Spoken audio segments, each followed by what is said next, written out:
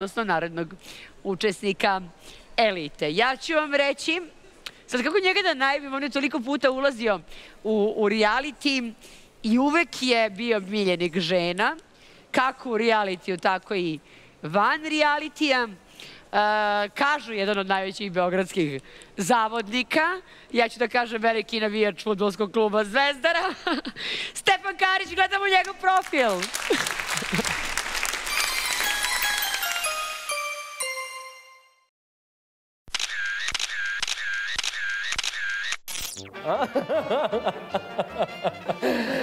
Ćao svima, zovem se Stefan Karić, dolazim iz Beograda, tačnije sa Zvezdare. Od mene možete očekivati samo pozitivu, bez e, svađanja, bez vike, cike, e, jurnjave, tako da, mislim, nadam se će tako biti.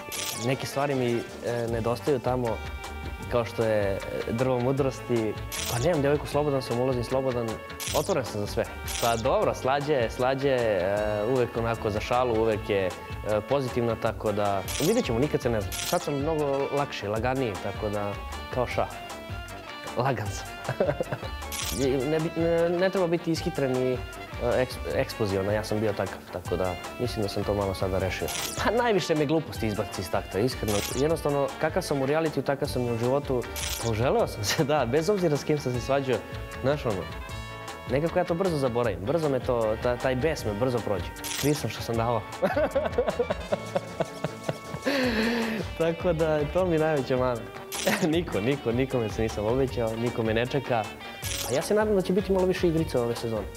Ja to volim, ja volim da se takmičim, imam taj takmičarski duh. Glasite, glasite, neka najgori pobedi kao i do sada.